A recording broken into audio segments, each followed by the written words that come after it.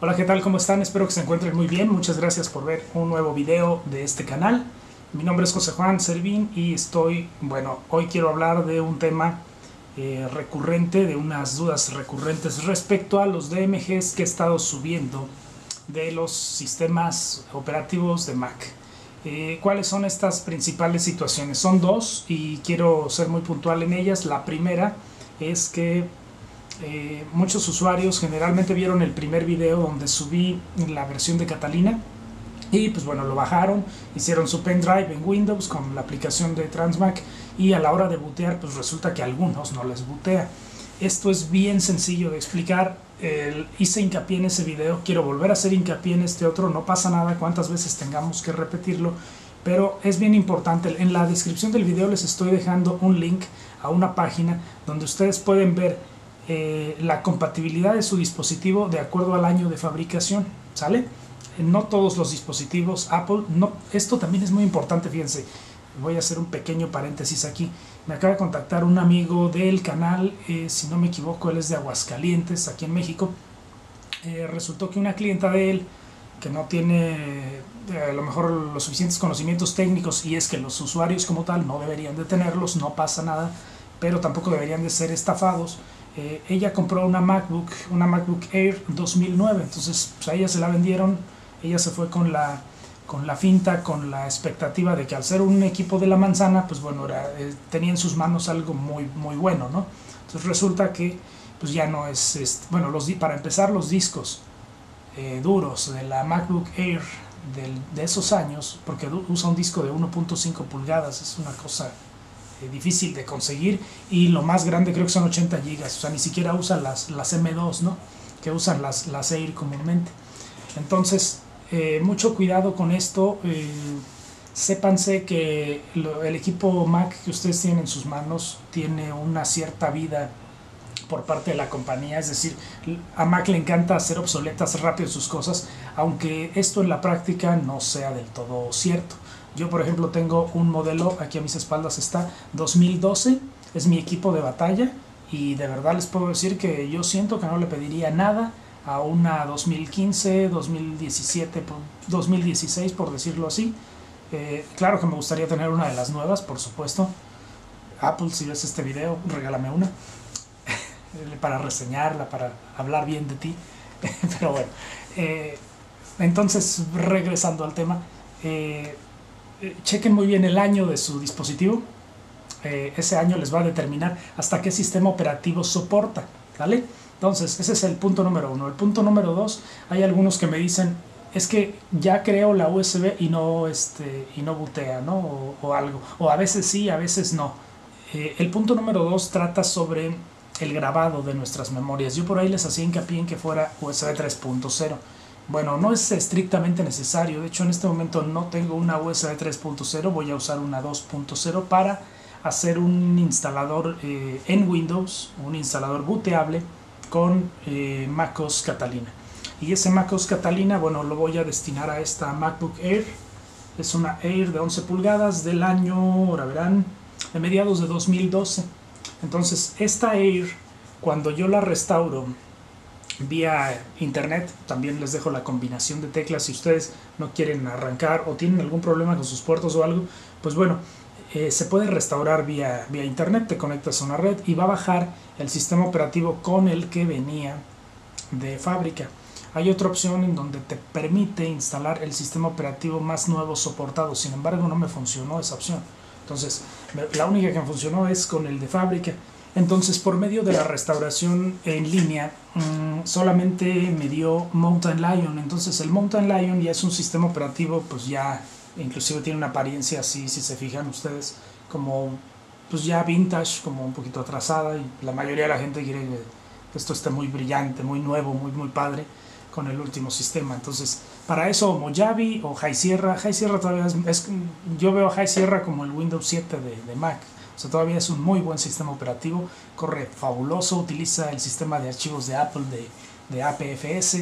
Eh, muy bien, yo veo a High Sierra como todavía un digno eh, sistema operativo vigente. Si ustedes tienen High Sierra, tienen un buen sistema operativo. Si su equipo soporta High Sierra, tendrán un muy buen sistema operativo vigente. Pero bueno, en este caso, con solo 4 GB en RAM. Vamos a ver qué tal corre Catalina. Eh, igual yo la dejaría en Mojave. Y eso, si no es que está en High Sierra. Pero bueno, quiero enseñarles cómo es que de verdad sí funciona el proceso. Y bueno, también quiero abrir un pequeño hilo a continuación. Entonces, ¿por qué compartir los sistemas operativos de Mac? Bueno, porque generalmente estos solían estar en el App Store, pero resulta que ya han quitado varios. Y aunque en las páginas de Apple alcanzas a conseguir los últimos cuatro o cinco, alcanzas a conseguir Catalina, Mojave, High Sierra, Sierra, eh, El Capitán. Esos cinco alcanzas a conseguir. Entonces, mi intención es conseguirlos todos a partir de Mountain Lion o de Lion inclusive.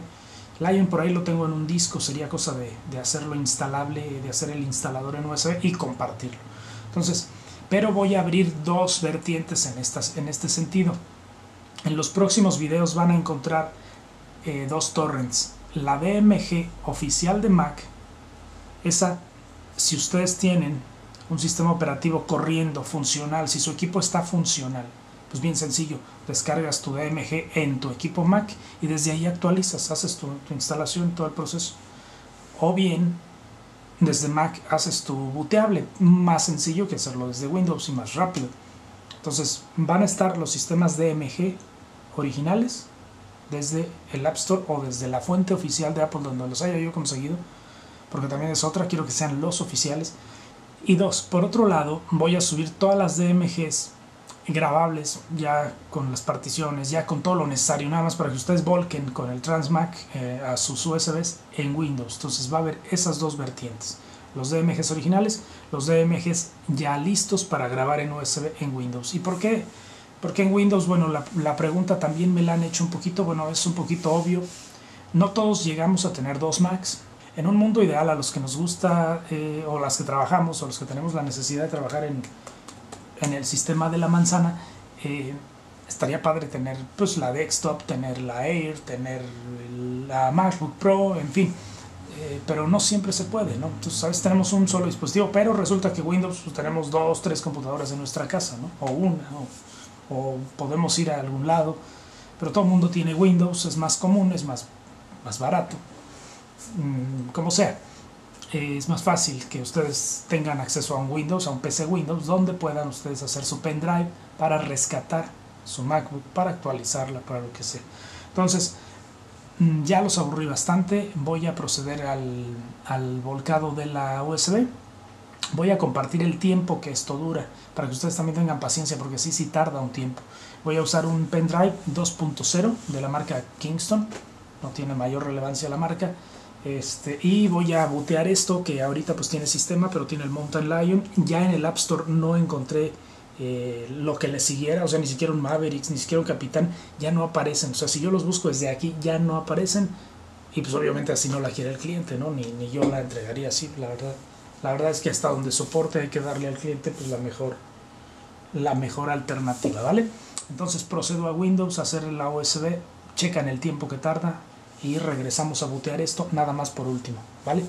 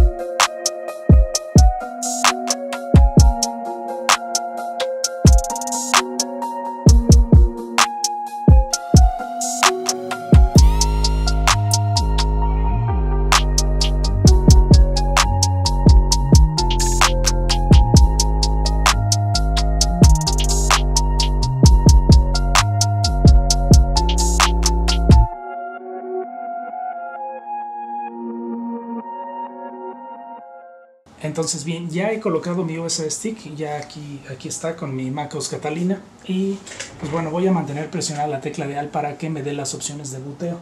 Chéquense. No la suelto. Y debo de tener el menú de arranque en unos segundos. ¿Ya se fijaron? No sé si alcancen a, a enfocar un poquito, voy a acercar es que desafortunadamente la, iluminación no es lo profesional que quisiéramos todavía, pero estamos mejorando. Ahí está, no sé si alcance a ver. Aquí está. Mm, aquí está. Aquí está mi instalador. Entonces, venga, voy a comenzar para que vean que en efecto funciona. Ahí estamos. Oh, ya se opacó un poquito. Doble clic y ya comenzó a instalar. Entonces, bueno, a cargar el instalador, ahorita todavía falta. Me regreso de este lado, que creo que la iluminación es un poquito más buena. Ya. Entonces, bien, ahí ya está cargando el instalador. No deben de pasar más de unos minutos, ya que este trae una unidad de estado sólido para que nos comience a cargar. Voy a ponerla en el escritorio y a documentar todo el proceso de manera que aceleraré la toma para que no pierdan ustedes mucho tiempo. Nada más observen que, pues, bueno, ya se produjo allá. Sí tardó muchísimo tiempo. La verdad yo me puse a hacer otras cosas, dejé el cronómetro y casi se echó 50 minutos. No bueno, los 50, pero casi. Entonces pongan a hacer otra cosa mientras su USB stick está listo. O bien usen una 3.0. Yo usé una 2.0. No tenía otra a la mano. Entonces, bueno eh, vamos a dejarla y dejo la cámara grabando y luego aceleramos el proceso, ¿va? Entonces, ahorita nos vemos.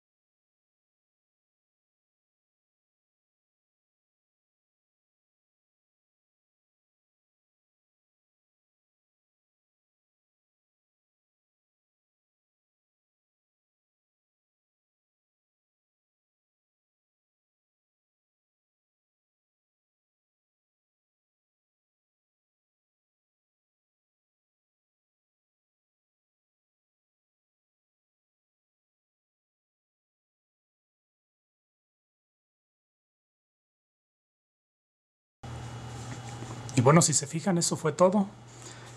Ya tenemos nuestro MacOS Catalina instalado, ya está configurado. Solamente omití lo del iCloud para que bueno, el cliente le introduzca sus credenciales. Pero se fijan, ahí está.